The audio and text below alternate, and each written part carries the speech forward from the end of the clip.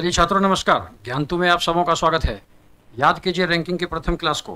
Ranking के प्रथम class में टाइप वन टाइप टू और टाइप थ्री को हम लोगों ने बारीकी से देखा था। उसमें कई फार्मूले थे, लेकिन याद रखेंगे फार्मूले तभी जब प्रश्न वैसा, यानी ट्रिक शर्तों पर आधारित होता है। इसलिए हम लोग पिक्टोरियल मेथड को भी जोड़ दे रहे हैं पिक्टोरियल मेथड को भी अवॉइड नहीं कर रहे हैं। ठीक है? आज तक जो प्रश्न पूछा वो फॉर्मूले पर बन गया।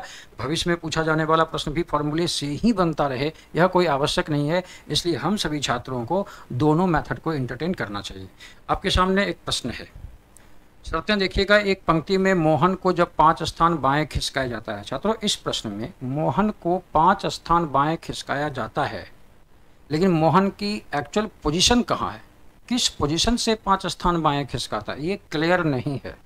लेकिन तो वह दाहिने से तीसवां स्थान पर हो जाता है। यदि पंक्ति में पचास व्यक्ति हैं तो मोहन का बाएँ से पूर्व स्थान कौन सा है?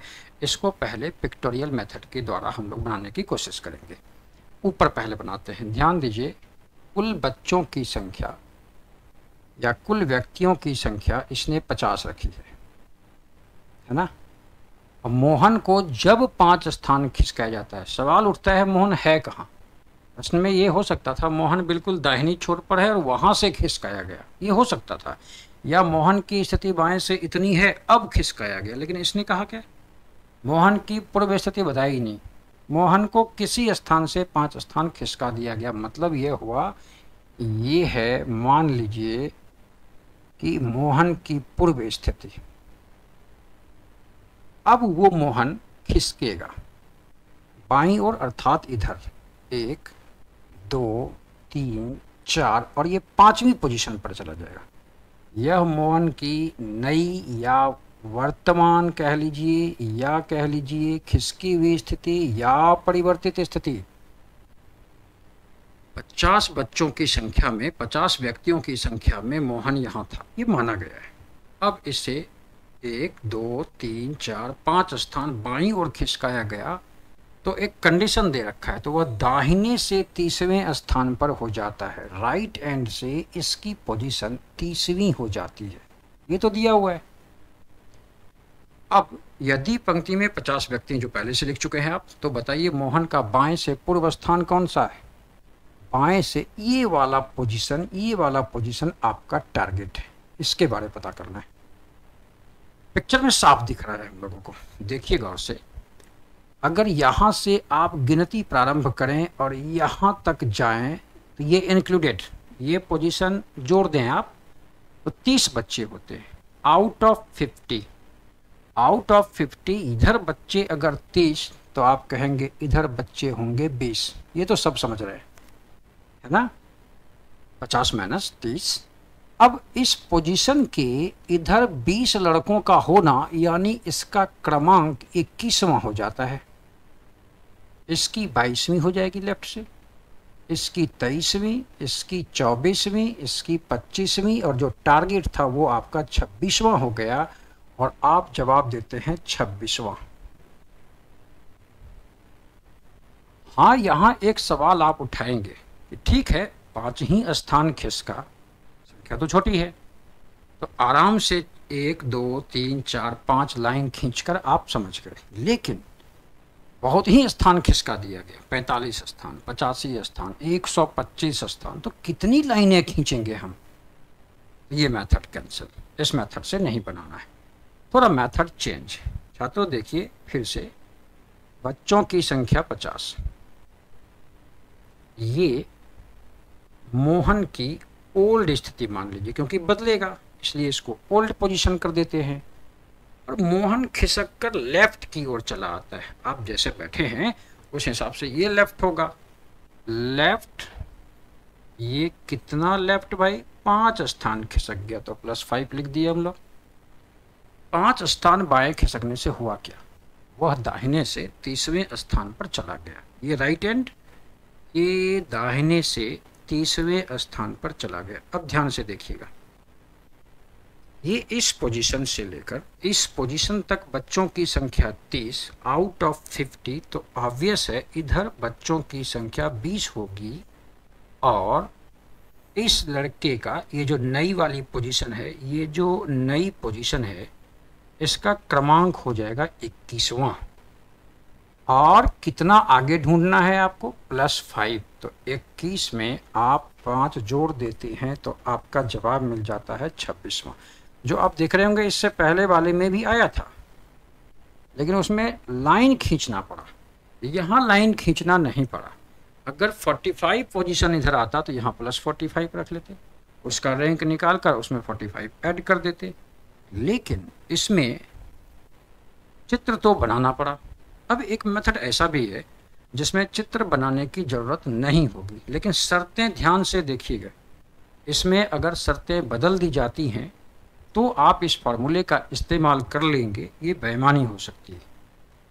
ध्यान से देखेंगे इस प्रश्न ने कहा कि कुल बच्चों की संख्या पचास है। ठीक है? ये तो डेटा लिखा हुआ है। और खिसका कितना स्थान? वो खिसका पाँच स्थान। ये ज़ोर नहीं देंगे, ये खिसकने की पोजीशन है, इसलिए हम पाँच स्थान लिख रहे हैं। ये खिसकने की पोजीशन है, पाँच स्थान। जब वो पाँच स्थान खिसकता है तो अंतर क्या आया इम्पैक्ट क्या पड़ा, वो तीसवा हो गया राइट से। नहीं पूछा लेफ़्ट से पूर्व स्थान है, देखिएगा। पचास में से जब उधर व्यक्तियों की संख्या तीस तो इधर बच्चों की संख्या या व्यक्तियों की संख्या बीस होगी। आप और हम दोनों समझ रहे हैं?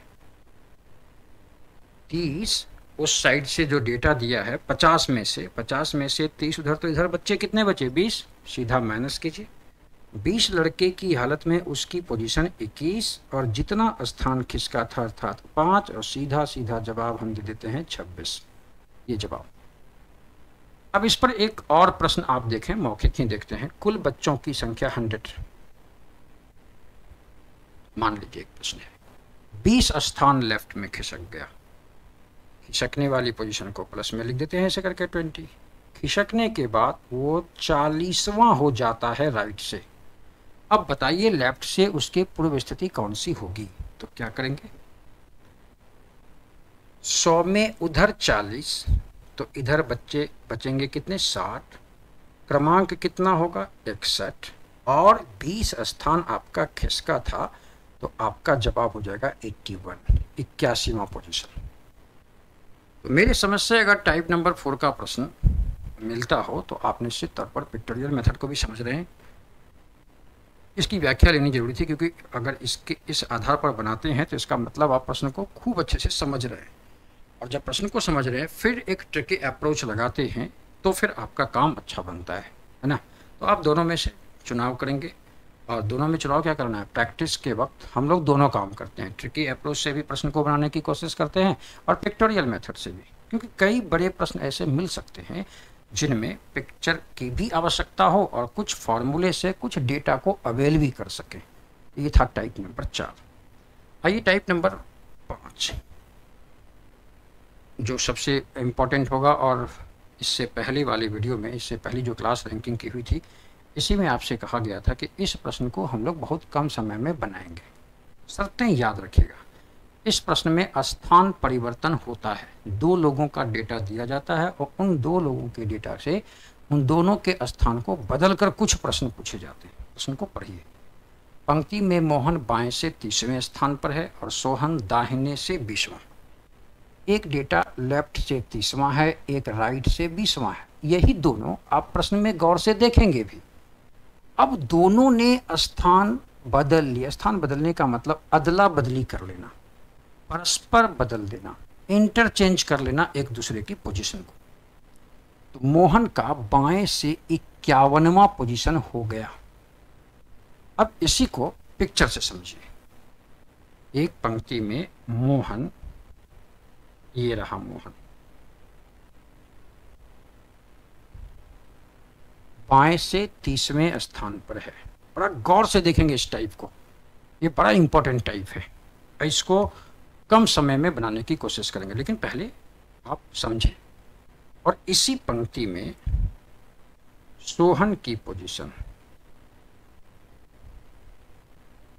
दाहिने से बीसवीं हो जाती है और सभी लोग जानते हैं, ये अंडरस्टूड बात है कि इधर बच्चों की संख्या out of thirty twenty nine होगी और सोहन के उधर बच्चों की संख्या उन्नीस होगी। ये हम आप दोनों समझते हैं। नहीं, अब दोनों स्थान इंटरचेंज करेंगे। सोहन यहाँ चला आएगा और मोहन यहाँ चला जाएगा। यही हुआ स्थान बदलने का मतलब? अभी प्रश्न संपूर्ण नहीं हुआ है। एक डेटा अभी देना बाकी है। क्या है डेटा? स्थान बदलने के बाद मोहन का बाएँ से, ये रहा मोहन, बाएँ से मतलब इधर से, बाएँ से मोहन की पोजीशन इक्यावनवी हो जाती है। प्रश्न ऐसा ही होगा। या दाहिने से? सोहन का भी दे सकता है, कोई भी डेटा दे सकता है। इस प्रश्न को बहुत बारीकी से पहचानिए। पहला प्रश्न जो आप देख रहे हैं, वो कह रहा है, टोटल छात्रों की संख्या बताइए। पूछा जा सकता है। दूसरा प्रश्न, दोनों के बीच, अर्थात दोनों के बीच में बच्चों की संख्या बताइए। छात्रों, तीसरे प्रश्न की जो बात है, उसको हम लोग ध्यान से देखेंगे। आप ध्यान दीजिए, दो लड़के, मोहन और सोहन में, स्थान के बदलने के बाद मोहन का डेटा दिया गया। ऑब्वियस है सोहन का पूछेगा। मोहन का लेफ़्ट से दिया गया है, सोहन का राइट से पूछेगा। इस बात को ध्यान रखिएगा। ऐसे तो वो तो प्रश्न लिख ही देगा अंत में। जो लिखा भी, स्थान बदलने के बाद सोहन का स्थान दाएँ से कितना हो जाएगा? सोहन का पोजीशन पूछा है। और वो भी पूछा किधर से भाई? राइट एंड से। पूछना ही है उसको। डेटा लेफ़्ट से दिया मोहन का तो डेटा राइट से पूछेगा सोहन का। ठीक, वो दूसरा लड़का जो है एक, उसके बारे पूछेगा। अब तीनों प्रश्न को सबसे पहले हम लोग पिक्टोरियल मेथड से जानेंगे इसको। फिर देखते हैं। अब देखिए, कुल छात्र निकालने जा रहे हैं हम लोग। टोटल का मतलब होता है, इस पोजीशन से स्टार्ट करें और इस पोजीशन तक जाएँ और सारे की गिनती कर ले तो वो टोटल हो जाता है। मेरे साथ गिनती प्रारंभ कीजिए। आप यहाँ से गिनती प्रारंभ करेंगे और यहाँ तक जाएँगे मोहन तक, ये वाली पोजीशन तक तो बच्चे मिलेंगे आपको 51 यहाँ तक। इस पोजीशन से यहाँ तक इक्यावन मिले। अब उधर, इक्यावन के उधर बच्चे कितने हैं? 19 और टोटल का मतलब यहाँ से लेकर वहाँ तक, यानी यहाँ से लेकर यहाँ तक इक्यावन। और फिर इक्यावन के उधर 19 यानी कुल छात्रों की संख्या हो गई आपके पास 51 प्लस नाइनटीन यानी सत्तर, बच्चे सत्तर हो गए। कुल निकल गया। दूसरा प्रश्न मिडल वाली आती है, ध्यान से देखिए। मिडल का फॉर्मूला आप पहले भी वीडियो में देख चुके हैं T N minus M plus N होता है। टी एन आप सेवेंटी निकाल चुके थे। एम प्लस एन यानी थर्टी प्लस ट्वेंटी यानी फिफ्टी अब बीच में आपका जवाब मिल गया है बीस। ये बीच की वैल्यू आ गई ट्वेंटी। एक टी एन आपने निकाला सेवेंटी। दूसरा मिडल वाली वैल्यू निकल गई आपकी ट्वेंटी। अब तीसरा प्रश्न। ये जो सोहन की पोजीशन है राइट एंड से कितने नंबर पर होगा? ये बताना है। कितना इजी है देखिए। यहाँ से यहाँ बच्चे हुए बीस और आ गया बीस तो हो गए चालीस, यानी इसका क्रमांक हो जाएगा इकतालीसवा यही तीसरा प्रश्न था। ये तीसरा प्रश्न था।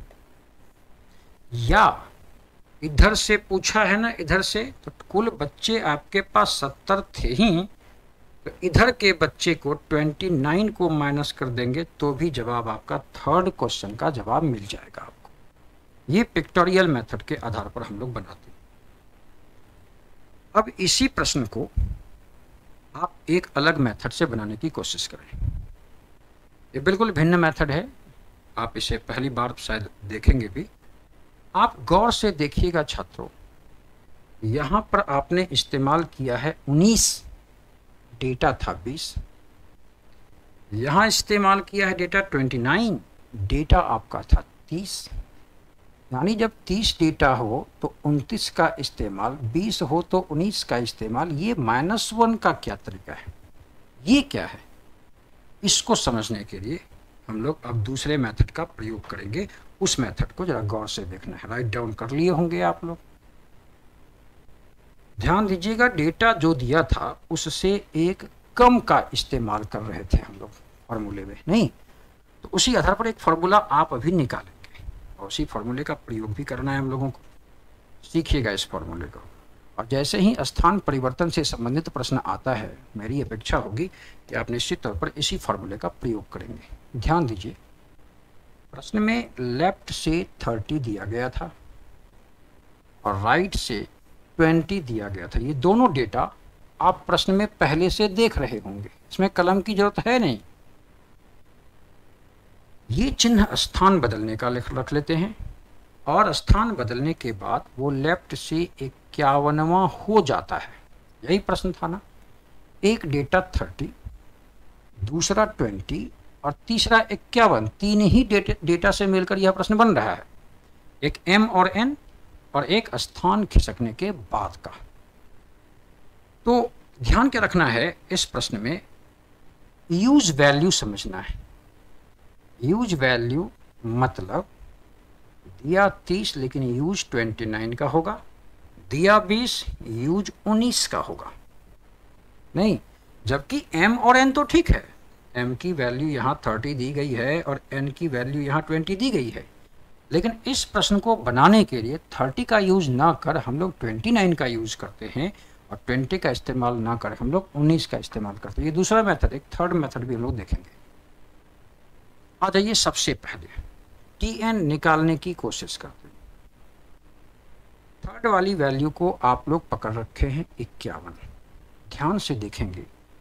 ये वैल्यू दी कहाँ गई? दी कहाँ से गई? कहाँ से दी गई? लेफ़्ट से। जब लेफ़्ट से देगी तो राइट वाली यूज़ वैल्यू को जोड़ देंगे। इक्यावन और उन्नीस मिलकर हो गए सत्तर। देखिए, ये वैल्यू कहाँ से दी गई? लेफ़्ट से। तो करना क्या हम लोग को? राइट वाली जो यूज़ वैल्यू होगी। ट्वेंटी दिया है, लेकिन उन्नीस इस्तेमाल होगा। डायरेक्ट आप इक्यावन प्लस उन्नीस बराबर सत्तर तो कह सकते थे टोटल और मिडल का formula T N minus M plus N होता है तो मिडल तो निकालने के लिए कोई दिक्कत ही नहीं है। आप मिडल निकालने के लिए सेवेंटी पहले ही निकाल चुके हैं। और उस समय m और n का योगफल आपके पास 50 दिया हुआ है। ये रहा दूसरा जवाब। बीच की संख्या। दो निकाल लिए। अब ध्यान से देखिए थर्ड क्वेश्चन क्या पहचान है थर्ड क्वेश्चन की? थर्ड क्वेश्चन की पहचान है, अगर डेटा लेफ़्ट से देगा तो राइट से पूछेगा और डेटा राइट से देगा तो लेफ़्ट से पूछेगा। जो भी पूछेगा वो नीचे तो लिखेगा ना, देखिए दिखा है ना, सोहन का स्थान दाहिने से कितना होगा? तो आप देखेंगे दो प्रकार की यूज़ वैल्यू थी, एक 29 और एक 19 की। आपने 19 का उपयोग कर लिया है। इस बार 29 का करेंगे? थर्ड क्वेश्चन के लिए। और टोटल संख्या जो भी थी, उसमें रेस्ट डेटा जो आपका यूज़ वैल्यू बच गया है, उसको माइनस कर देंगे तो आपका थर्ड क्वेश्चन का जवाब आ जाएगा। यानी दाहिने से सोहन का स्थान इकतालीसवां हो जाए। अब इसको और शॉर्ट रूप दिया जाए। देखिए थर्ड क्वेश्चन को बनाने के लिए ये डेटा अवेल करना पड़ता है टीएन निकालना पड़ता है। इसमें तो हमारा समय निकल जा रहा है, कुछ समय एक्स्ट्रा हो जा रहा है। तो इसको देखने के लिए हम लोग एक काम करते हैं, एक नया प्रश्न तैयार करते हैं। सुनिए। एक लड़का लेफ़्ट से थर्टी वही था क्वेश्चन दूसरा लड़का राइट से बीसवा है। स्थान बदलने के बाद लेफ़्ट से में यही क्वेश्चन था छात्रों। यही क्वेश्चन था। और थोड़ा चेंज करते हैं। इसी से आप समझ जाएँगे। लेफ़्ट से ट्वेंटी राइट से थर्टी है किसी की पोजीशन दूसरे लड़के की, और स्थान बदलने के बाद वो लेफ़्ट से फिफ्टी वन हो गया। तो तीन प्रश्नों का जवाब दीजिए। क्या क्या जवाब आपको पूछा जाएगा बताइए। पहला पूछा जाएगा टी एन दूसरा प्रश्न आपसे हो सकता है मिडल का। और तीसरा प्रश्न, चूँकि ये डेटा लेफ़्ट से है तो डेटा प्रश्न जो है, वो राइट से बनेगा। यही तीन प्रश्न होगा आपको। यहाँ भी पहला प्रश्न टोटल नंबर दूसरा, दोनों के बीच छात्रों की संख्या और तीसरा डेटा चूँकि लेफ़्ट से है तो ये राइट से ही पूछेगा। और अगर वह डेटा राइट से होता तो लेफ़्ट से पूछता। नहीं? आइए वहाँ। दोनों में सबसे पहले टीएन निकालने की कोशिश करेंगे। बहुत बारीकी से देखना है इसको। टीएन निकालने के लिए इस वैल्यू में 51 में 51 की वैल्यू किधर से दी गई है? लेफ़्ट से। राइट वाली यूज़ वैल्यू नॉट 20 19 19 जोड़ देंगे, आपका जवाब टोटल आ गया आ गया जवाब। यहाँ पर थर्ड वैल्यू तो आपको 51 दिया है, लेकिन ये वैल्यू लेफ़्ट से है तो राइट की यूज़ वैल्यू अर्थात 29 आप इसमें जोड़ देंगे, आपका जवाब मिल जाएगा 80 ये टोटल आ गया। आइए मिडल बहुत आसान। टी एन में से एम प्लस एन की वैल्यू घटा देनी है, आपको जवाब मिल जाएगा।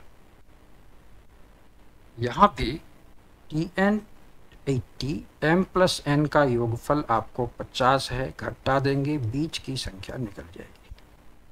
छात्रों थर्ड क्वेश्चन थर्ड क्वेश्चन को बिना किसी कलम के मदद आप कैसे बना सकते हैं, इसको बारीकी से देखने की ज़रूरत है। ध्यान से देखिएगा क्या कह रहे होंगे। यह क्वेश्चन राइट से पूछा गया। डेटा आपके पास तीन ही है, एक थर्टी एक ट्वेंटी और एक फिफ्टीन छोड़िए अभी सेवेंटी को। तीसरा प्रश्न जो सबसे ज़्यादा इंपॉर्टेंट है आई एम पी लिख देते हैं थर्ड क्वेश्चन के लिए। ये पूछने की संभावना काफ़ी बनती है और इसको पाँच से छः सेकंड में आप आराम से निकाल सकते हैं। डेटा इसी यही तीन डेटा यही तीन रहेगा, इसी से बनाना है। प्रश्न कहाँ से पूछा? राइट से। ये थर्ड वैल्यू को तो आपको पकड़े रहना है। पकड़े रहेंगे। आपका प्रश्न राइट से है। जरा ऊपर चेक कीजिए तो डेटा में राइट की वैल्यू इन दोनों में से बड़ी है या छोटी। लेफ़्ट और राइट में राइट की वैल्यू छोटी है तो क्रिया माइनस की करेंगे। ये ध्यान रखना है। थोड़ा वहाँ चलिए। तो 51 को तो पकड़े रहना है। वैल्यू राइट से पूछा और ये राइट की वैल्यू यहाँ इन दोनों में से बड़ी है, इसलिए यहाँ क्रिया कैसी होगी? प्लस की। अब जोड़ना क्या है या घटाना क्या है? तो दोनों तरीकों में, दोनों प्रश्नों में इसके डिफरेंस को। इसका डिफरेंस है दस। इसके दस को माइनस कर दीजिए, आपका जवाब फोर्टी वन आ जाएगा। और यहाँ पर प्लस करना है इसके डिफरेंस को। यहाँ भी डिफरेंस दस है। यहाँ दस जोड़ेंगे, आपका जवाब आ जाएगा। बात समझे? तीसरे प्रश्न के लिए, जिस, इससे पहले वाले अगर मेथड की बात करेंगे तो थर्ड क्वेश्चन के लिए ये सेवेंटी निकालना मैंडेटरी था टोटल तभी आप निकाल सकते थे। हम लोगों ने क्या किया? अब थर्ड क्वेश्चन को निकालने के लिए जो डेटा तीन हमको मिलता है, पहला एम दूसरा एन और तीसरा स्थान खिसकने वाला तो इन तीनों डेटा के आधार पर ही तीसरा क्वेश्चन भी बन जाता है। यानी समझिए, प्रश्न में ही उत्तर छिपा रहता है। पहली वैल्यू दी हुई, दूसरी वैल्यू भी दी हुई है, और तीसरी वैल्यू स्थान परिवर्तन के बाद। स्थान परिवर्तन करने वाली वैल्यू को हम लोगों ने पकड़ लिया 51 को। उसको पकड़ने के बाद नज़र रखती है, रहती है हमारी क्वेश्चन पर। क्वेश्चन पूछा किधर से गया है? क्वेश्चन राइट से पूछा है। अब चलते हैं क्वेश्चन पर। राइट और लेफ़्ट में से वैल्यू बड़ी किसकी राइट से पूछा और राइट की वैल्यू छोटी मिल जाएगी तो क्रिया माइनस की होगी। और देखिए यहाँ पूछा राइट से और राइट की वैल्यू बड़ी मिल गई। तो क्रिया प्लस की लेकिन जोड़ना या घटाना किसको है? उस दो, दो दोनों डेटा के डिफरेंस को। अर्थात एम प्लस एन के एम और एन के डिफरेंस को। यही है टाइप नंबर पाँच सबसे इम्पोर्टेंट और मेरी अपेक्षा होगी। पूरा विश्वास होगा आपको आ, कि भाई आप प्रश्न को इस मेथड से ज़रूर बनाएँगे। इसमें शर्तें क्लियर हैं। स्थान परिवर्तन वाला प्रश्न है। आराम से आप बना सकते हैं इसको। ज़रूर कोशिश कीजिएगा। एक प्रश्न और आपके सामने आ गया। म्यूचुअल रिलेशन का प्रश्न है। अरुण एलियास से तेज दौड़ता है। पहले बनते देखेंगे, इसमें मौलिक बातों को भी हम बताएँगे। और आप इसको छोटा करें तो जगह का इस्तेमाल हो। अरुण एलियास से तेज दौड़ता है। क्या लिखेंगे आप? अरुण एलियास से तेज दौड़ता है। ऐसे लिख दिए।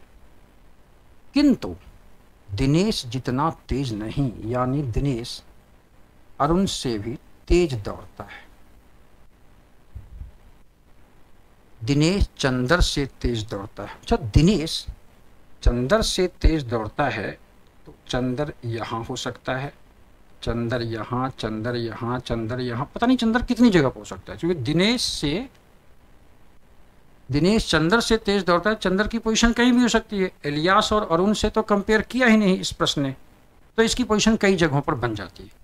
किंतु विक्रम जितना तेज नहीं चंद्र जो है, विक्रम के इतना तेज नहीं दौड़ता है। अब चंद्र विक्रम के इतना, किंतु किंतु विक्रम जितना तेज नहीं, यानी चंद्र और विक्रम में कौन? विक्रम तेज दौड़ता है चंद्र से। ये मामला आपका बन जाता है। अब चंद्र की पोजीशन क्लियर है नहीं तो विक्रम तो कहीं भी हो सकता है। एक तरीका ये आप लोग अजमाते हैं। लेकिन छात्रों, ध्यान देंगे यहाँ पर, आप किंतु शब्द यहाँ देख रहे होंगे। और भी कई प्रकार के शब्द आएँगे जो जो कि और, एवं तथा किंतु, परंतु, लेकिन बल्कि यद्यपि बावजूद, अब क्या करेंगे? इस कंडीशन में, अब देखेंगे, जैसे पहले प्रश्न को पढ़ रहे थे, अरुण एलियास से तेज दौड़ता है, ये तो समझ में आ गया। जैसे ही ये वाला कंजंक्शन आया, संयोजक किंतु दिनेश जितना तेज नहीं तो यहाँ एक बात आती है कि ये किंतु किसके बारे कहा जा रहा है? इलियास के बारे या अरुण के बारे? अब फिर यहाँ भी आप देखेंगे एक किंतु लगा हुआ है। तो फिर ये, इससे पहले दो सब्जेक्ट दिनेश और चंद्र, इन दोनों से अगर कंपेयर किया जाए तो एक्चुअली इस किंतु की जगह पर चंद्र या दिनेश लगेगा। इसके लिए हम लोगों को थोड़ा सा वर्क करना होगा। ये थोड़ा सा इस पर हम लोग वर्क करें। ध्यान से देखेंगे छात्रों। जो और जो की।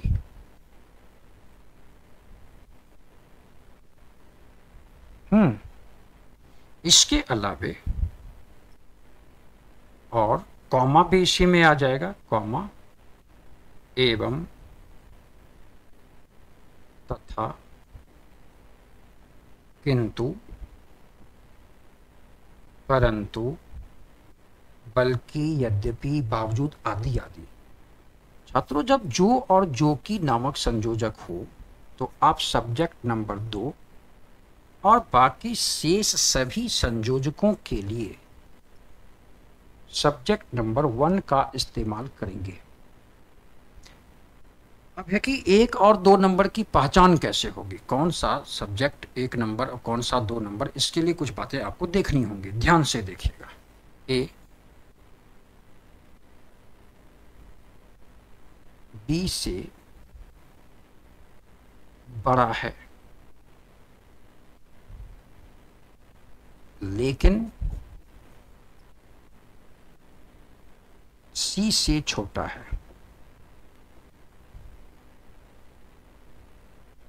अब लेकिन, किंतु परंतु जो और जो की तो है नहीं। जो जो की होता तो दो नंबर के बारे सोचते। अब लेकिन की जगह पर आपको सब्जेक्ट नंबर एक सोचना है और आपके पास ऑप्शन या तो ए या तो बी संयोजक से ठीक पहले आने वाले सब्जेक्ट के सब्जेक्ट और प्रेडिकेट से सेंटेंस के सब्जेक्ट और प्रेडिकेट से इसका निर्धारण, संयोजक का निर्धारण किया जाना है। और चूँकि लेकिन है तो एक नंबर का सब्जेक्ट तो एक नंबर का सब्जेक्ट उनके आने के क्रमानुसार होगा, ऐसा भी नहीं। इन दोनों में म्यूचुअल रिलेशन क्या है? बड़ा होने का। अब ध्यान से देखिए, जो दो सब्जेक्ट दिया है इसमें से, यह इस म्यूचुअल रिलेशन का वास्तविक हक कौन रखता है? ए रखता है ए बड़ा है तो ए एक नंबर का सब्जेक्ट हो जाएगा और बी दो नंबर का। यानी, जो म्यूचुअल रिलेटिव हो, उसके लिए इस्तेमाल करेंगे हम लोग सब्जेक्ट नंबर वन पहली बात। और जिसके मुकाबले, जिसके रेस्पेक्ट में, जिसके मुकाबले वह एमआर होगा, यानी म्यूचुअल रिलेटिव हो, वह होगा सब्जेक्ट नंबर दो। ये ये बात। अब यहाँ म्यूचुअल रिलेशन क्या है बड़ा? रिलेटिव कौन है म्यूचुअल रिलेटिव? ए, इसलिए एक नंबर का सब्जेक्ट ये और किसके मुकाबले बड़ा है? बी के मुकाबले। तो बी सब्जेक्ट नंबर दो होता है। इस प्रकार आप चुनाव एक और दो का कर पाएँगे। तभी एक प्रश्न आप देखिए, इसको बना ही लेते हैं। ए, बी से बड़ा है। ए को बी से बड़ा हमने कर दिया। लेकिन की जगह पर ए समझा जाएगा। यूँ समझिए, यहाँ ए लिखा है। ए, सी से छोटा है तो ए, सी से छोटा हो गया। अब एक प्रश्न और देखिए आप ए से बी बड़ा है। ए से बी बड़ा है। जो क्यू से बड़ा है।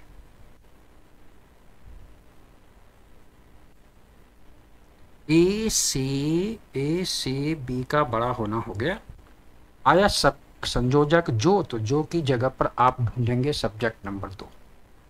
क्योंकि जो और जो की के लिए सब्जेक्ट नंबर दो और से सभी संयोजक के लिए सब्जेक्ट नंबर एक का इस्तेमाल करते हैं। देखिए, आने के क्रमानुसार ए एक नंबर का और बी दो नंबर का लगता है। लेकिन छात्रों, इन दोनों के बीच म्यूचुअल रिलेशन है बड़ा होने का और बड़ा बी है।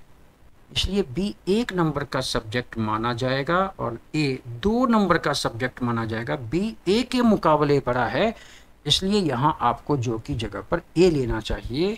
अब हो गया ए क्यू से बड़ा है। ये देखिए प्रश्न बना ये काम आपको करना है। जो और जो की के लिए सब्जेक्ट नंबर दो को पकड़ना है। शेष सभी संयोजकों के लिए सब्जेक्ट नंबर एक का प्रयोग करना है। हाँ जिसका जिसकी उसका उसकी होगा तो उसको आप कम से कम संयोजक के तरह इस नियमानुसार निर्धारित नहीं करेंगे। पोसेसिव केस है उसमें निर्धारण करता है तो उसको sense of imagination of writer या सेटर मॉडिटर लेखक की कल्पना के आधार पर करना होगा। जब जिसका जिसकी, उसका उसकी का मामला आएगा तो। ओहो, प्रश्नों का जब अभ्यास होगा हम लोगों उस प्रश्न के अभ्यास के क्रम में हम लोग कई प्रश्नों को म्यूचुअल रिलेशन के प्रश्नों को भी देखेंगे। एक प्रश्न ऐसा भी, कुछ शब्दों को उनके सार्थक क्रम में सजाने की बात आती है। सार्थक क्रम असेंडिंग ऑर्डर या डिसेंडिंग ऑर्डर दोनों में हो सकता है। इसके लिए आपको ऑप्शन की तलाश करनी होगी। ऑप्शन से सलाह मशविरा करना होगा। जैसे एक की डोर लॉक रूम और सिचोन है तो इसको एक इसको एक खास कहानी का रूप दीजिए ना सार्थक क्रम बन जाएगा, जैसे। सबसे पहले आप क्या करते हैं? क्या करना चाहिए हम लोगों को? चाबी है, भाई दरवाज़ा भी है, लॉक भी है। आप ऐसा करें। सबसे पहले अगर आप चाबी लेते नहीं, ताला खोलते तो दरवाज़ा आपका खुल जाएगा। यानी एक, तीन, दो। एक, पहले चाबी लेते हैं। ताले को खोल देते हैं। अगेन दरवाज़ा खोले या दरवाजे खोलकर प्रवेश करें। कहाँ? रूम में। और फिर जाकर आप स्विच ऑन करते हैं। अब आप ये दिमाग नहीं लगा देंगे, मेरा स्विच है रूम से बाहर है तो हम क्या करें? इसके अकॉर्डिंग आपको देखना होगा। सबसे पहले क्या हुआ? सबसे पहले आपने क्या किया? लिया सबसे पहले चाबी। सबसे पहले स्विच ऑन तो छोड़ दीजिए। एक नंबर एक नंबर दो दो जगह पर है। लेंगे की से क्या खुलेगा? लॉक। इसके बाद क्या खोलना है? दरवाज़ा। हाँ दरवाजे के बाद रूम में प्रवेश। और देन स्विच ऑन ये आपका एक सार्थक क्रम हो गया।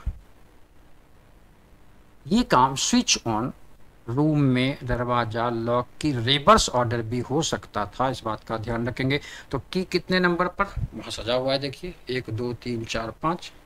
एक, दो, तीन, चार, पाँच। एक, दो, तीन, चार, पाँच। एक, दो, तीन, पाँच, चार है। ऑप्शन का सहारा लेना पड़ेगा यहाँ। है ना? चार, पाँच। एक, तीन, दो। अब देखिए एक एक ना की के बाद लॉक लॉक के बाद दरवाज़ा खोले रूम में प्रवेश किए स्विच ऑन हुआ ऑप्शन आपको सपोर्ट कर नहीं रहा है। तो आपका ऑप्शन वन से स्टार्ट होने वाला दो है इस पर तुरंत जाकर विचार कर लेंगे आप। वन की third lock then door then room then switch ठीक तो है। एक, तीन एक तीन दो होना चाहिए, ये मिस कर रहा था, ठीक है? वैसे आप हमेशा इस प्रश्न को बनाने में एक बात का ख्याल रखेंगे ऑप्शन पर भारी नज़र रखिएगा। ऑप्शन ऑप्शन बहुत मदद करेगा इसमें। एक प्रश्न और लेते हैं ऑप्शन पर नज़र रख करके ज़रा बनाने। इसमें बहुत ऑप्शन की ज़रूरत तो नहीं दिख रही है हमारे समझ से। हमारे समझ से तो नहीं दिख रहा है, क्योंकि सबसे छोटा तो लेटर होगा इसमें। चार नंबर लेटर, कई लेटर से बन जाएगा आपका वर्ड एक चार और एक से ऑप्शन सपोर्ट वो ये नहीं। दो दो सपोर्ट वर्ड वर्ड से क्या बन जाएगा? सेंटेंस चार एक तीन। चार एक तीन एक ही जगह है। अब तो आगे जाँच की ज़रूरत है नहीं, वैसे पाँच दो। फ्रेज और फ्रेज से बनेगा वाक्यांश और वाक्यांश से बन जाएगा आपका पैराग्राफ एक, चार एक तीन, पाँच दो। तो आप इस इस प्रश्न को बनाने के लिए निश्चित तौर पर ऑप्शन पर गाढ़ी नज़र रखिए। ये क्या है भाई? ये देखिए पुलिस पनिशमेंट क्राइम जज एंड जजमेंट सबसे पहले तो क्राइम होगा कहीं। हो गया। क्राइम हुआ। आएगी पुलिस। हम्म। ले जाएगी जज के पास। ठीक है एडवोकेट होता तो एडवोकेट हम लोग पहले कर लेते। जज के पास अब तो ऑप्शन सपोर्ट कर दिया हम लोग को। तीन एक तीन एक चार यहाँ है। फिर पाँच जजमेंट होगा और जजमेंट के रूप में पनिश कर दिया जाएगा। तो फाइव एंड टू तो ऐसे शब्दों को सार्थक क्रम में सजाने के लिए आप सीख रहे थे। आपको क्या करना है? ऑप्शन का सहारा लेना है। ऑप्शन पर गाढ़ी नज़र रखनी है। वो एक, एक और प्रश्न है। एक और प्रश्न है। पत्ती। फल, तना, जड़ और फूल। देखने से लग रहा है कि सबसे नीचे से ऊपर चले तो सबसे पहले रूट जड़। जड़ जड़ से जैसे ऊपर चलेंगे आपको मिल जाएगा स्टेम। सही है। रुकिएगा। रूट कितने नंबर पर था? चार नंबर पर। स्टेम था तीन पर। चार, तीन से ऑप्शन सपोर्ट है। अब पत्ती। पत्ती के बाद क्या बनेगा भाई? पत्ती के बाद फूल या फल? पहले फूल। नहीं। और तब बन जाता है आपका फल। फ्लावर कितने नंबर पर? पाँच नंबर पर। और फ्रूट दो नंबर पर। आपका जवाब चार तीन एक पाँच दो। चार तीन एक पाँच दो ये रहा। चार तीन एक पाँच दो।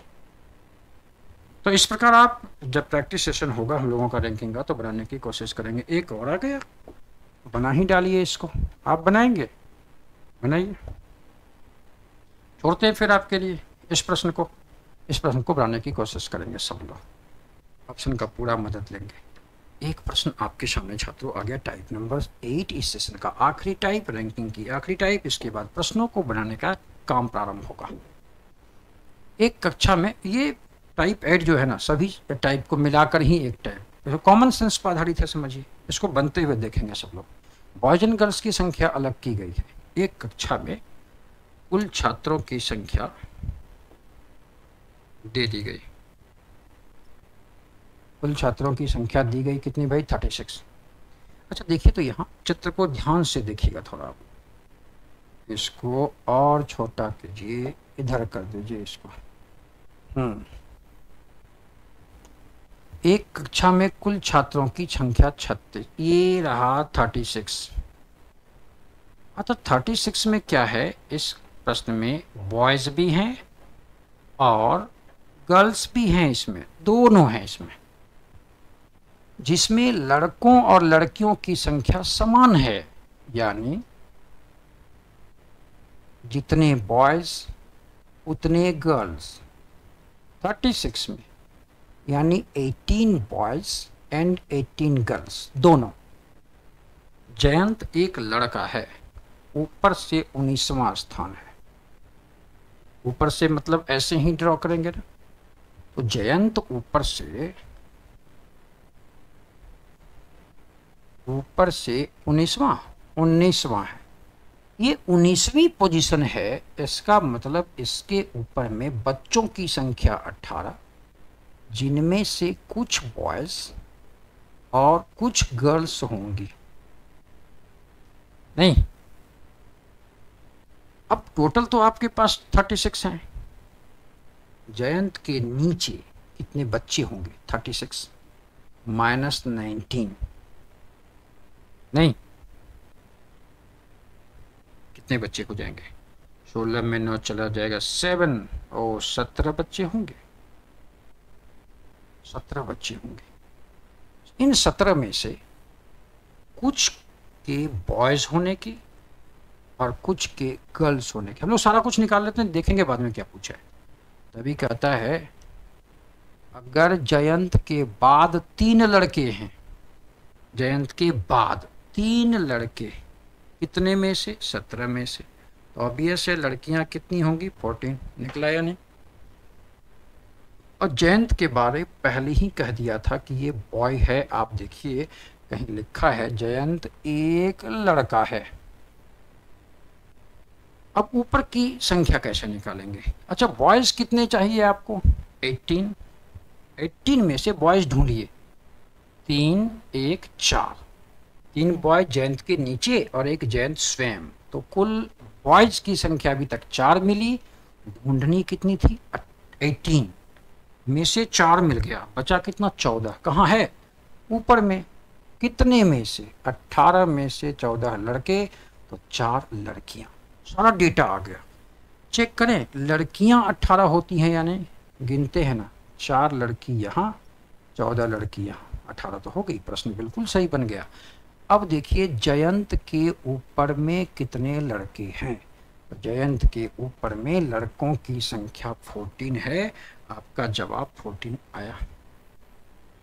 तो इस प्रकार रैंकिंग की बुनियादी बातों को हम लोग टाइप बद्ध कर पढ़ रहे थे। अब बारी आएगी रैंकिंग के कई प्रश्नों को, कई इंपॉर्टेंट प्रश्न को बनाने की। चलिए, प्रतीक्षा करेंगे हम लोग। आप सभी लोग लगातार वीडियो में बने रहेंगे और हमारा मनोबल ऊँचा करते रहेंगे। इसी आशा के साथ पुनः आमंत्रित करते हैं अगले वीडियो के लिए आपको। धन्यवाद।